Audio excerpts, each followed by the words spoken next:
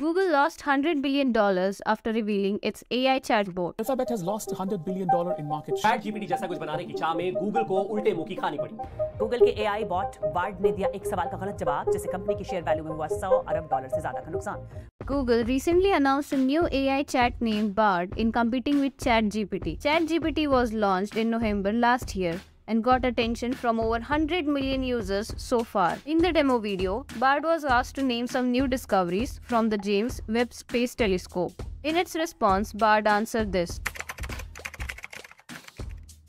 Reuters was the first to point out an error in Google's advertisement. However, that is not the case.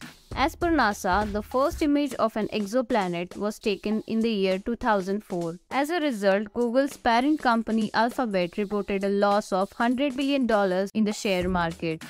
A Google spokesperson told Reuters, not only Google but even Microsoft also announced a new search engine Bing an Edge browser powered by upgraded ChatGPT AI. Microsoft CEO said, The race starts today and we are going to move and move fast you